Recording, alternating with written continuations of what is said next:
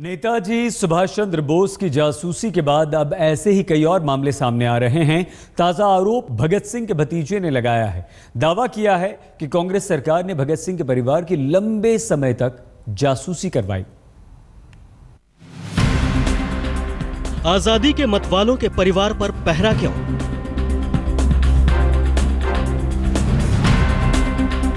किसने कराई शहीद आज़म के परिवार की जासूसी? अपने ही देश में नजरबंद क्यों हैं देशभक्तों के परिवार? आज़ादी के अड़सठ साल पूरे होने को हैं और देश को आज़ाद कराने वालों के परिवारों पर अब भी पहरा है। आईबी के दस्तावेजों के आधार पर इंडिया टुडे ने नेताजी के परिवार की जासूसी का खुलासा किया तो शहीद आज़म सरदार भगत सिंह के परिवार का दर्द भी छलक पड़ा। अड़सठ साल देश में राज करने वाली हमारी ही सरकारों पर आरोप है कि शहीद भगत सिंह के परिवार की जासूसी कराई गई, फ़ोन टैप किए गए।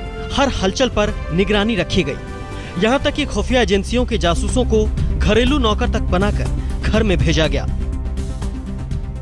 हम चाहते कि ये जो शहीद परिवार हैं, जिन्होंने कुर्बानियाँ दे के देश को आज़ाद कराया, उसके लिए उन्होंने अंग्रेज़ तो ये सारा काम करते ही थे, परंतु आज़ादी के बाद भी जो सरकारें रही हैं, उन्होंने भी इसको छोड़ा नहीं और वो पूरी तरह उसी को ही फॉलो करते रहे और ये सारा कुछ सिलसिला आज भी जारी है। शहीद भगत सिंह के बड़े भाई सरदार कुलबीर सिंह के बेटे अभय सिंह संधू का दर्द उमड़ा तो सियासत में उबाल आना लाजमी था।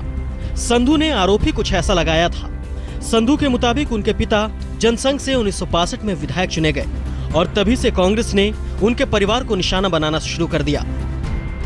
हमारे पिताजी सर कुलबीर सिंह जी उन्नीस सौ बासठ में इलेक्शन जीत के फिरोजपुर से एमएलए बने और उस समय वो जनसंघ की तरफ़ से एमएलए इलेक्ट हुए थे और उस समय की जो सरकारें थी, वो चाहती थी कि वो हमारे साथ दें और उन, उसी समय उनके ऊपर जो है, केस चलने शुरू हो गए थे। शहीद भगत सिंह का परिवार अब आरटीआई के ज़रिए सरकार से जानकारी मांगने की तैयारी कर रहा है। कि आखिर किसके आदेश पर उनके परिवार की जासूसी कराई गई? तो वहीं शहीदों के परिवार अब उन तमाम दस्तावेजों को भी सार्वजनिक करने की मांग कर रहे हैं।